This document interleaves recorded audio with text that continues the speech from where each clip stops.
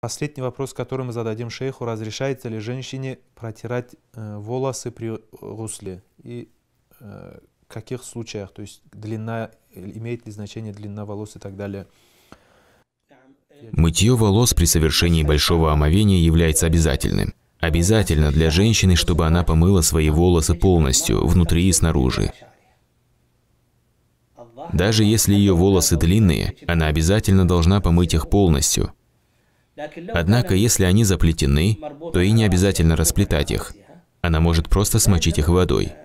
Если она полагает, что вода достигла корней волос, смочив их, а также их наружную часть, то этого будет достаточно. Однако при совершении малого омовения ей не обязательно протирать волосы от начала до самого конца.